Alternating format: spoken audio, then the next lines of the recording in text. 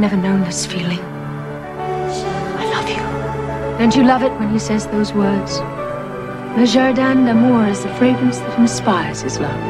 I wear it, and he tells me everything I want to hear.